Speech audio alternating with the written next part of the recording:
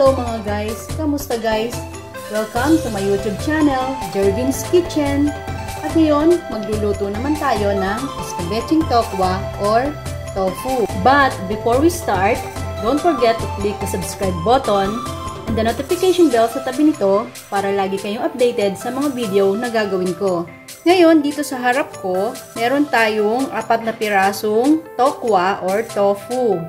Meron tayong ginger, meron tayong garlic, meron tayong onion, carrots, red and green bell pepper. So, hihiwa-hiwain ko lang yan, ipiprepare ko, and then papakita ko sa inyo. So, ngayon, hiwain ko lang din to.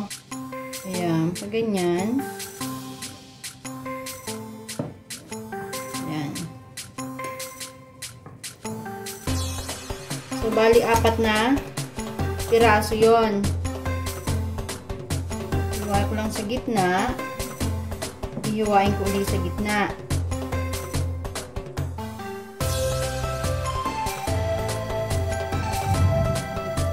Imimins ko lang itong ating garlic.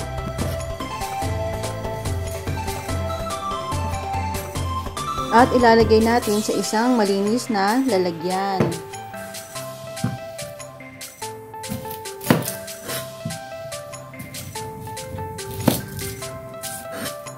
Maghihiwa na rin ako ng onion. Itong onion ay medium size lang ang ginamit ko. At ilalagay din natin sa isang malinis na lalagyan.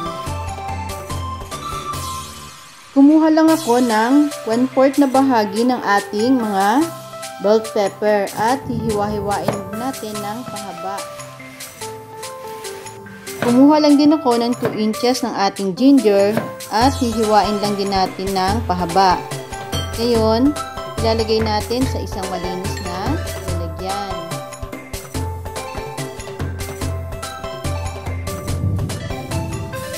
Gawin din ang ating carrots. So, hihiwain lang din natin yan ng pahaba. Magkakasing size yung ating mga ilalagay na gulay.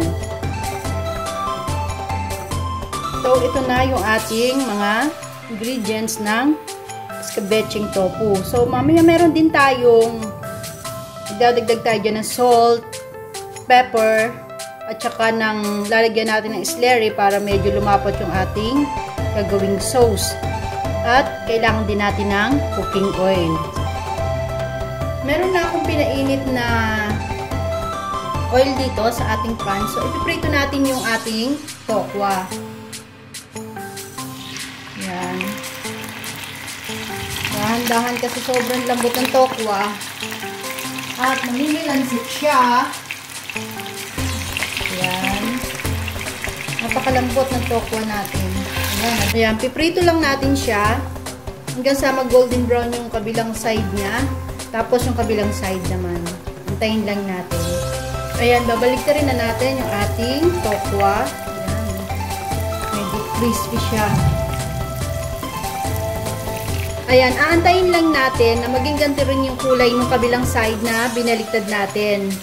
At maging crispy. Lagay lang natin to sa isang malinis na plato.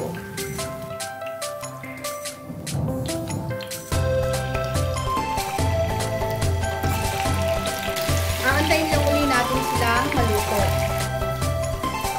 Para naman dun sa gagawin nating sauce, meron tayong vinegar, sugar, fish sauce, soy sauce, pepper, water para sa slurry natin dito sa ating cornstarch, and then 2 cups of water. Ito ang 2 cups of water natin.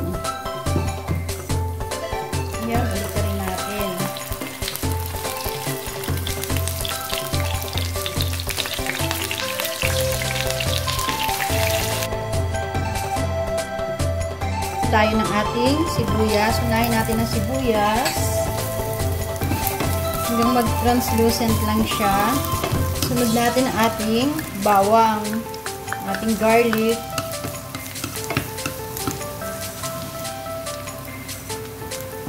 Sunod natin yung ginger. Carrots.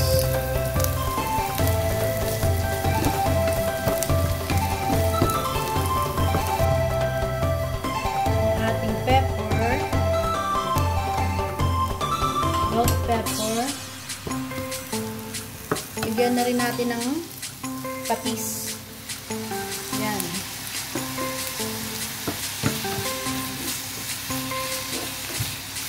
Isa lang natin ng kaunti. Yan, lagyan na natin ng earth. Toyo.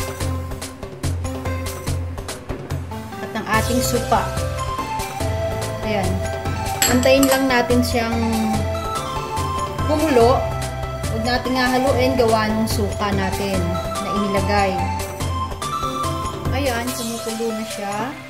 So, lagay na rin natin yung sugar. At haluin. Lagay na rin natin ang ating slurry. Ayan, haluin natin para hindi mabubuo yung ating ginawang slurry.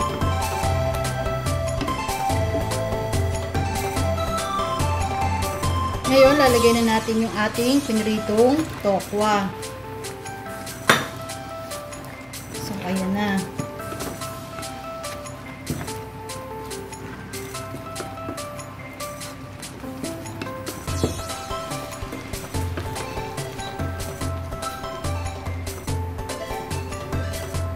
At ito na nga ang ating scabeching tokwa.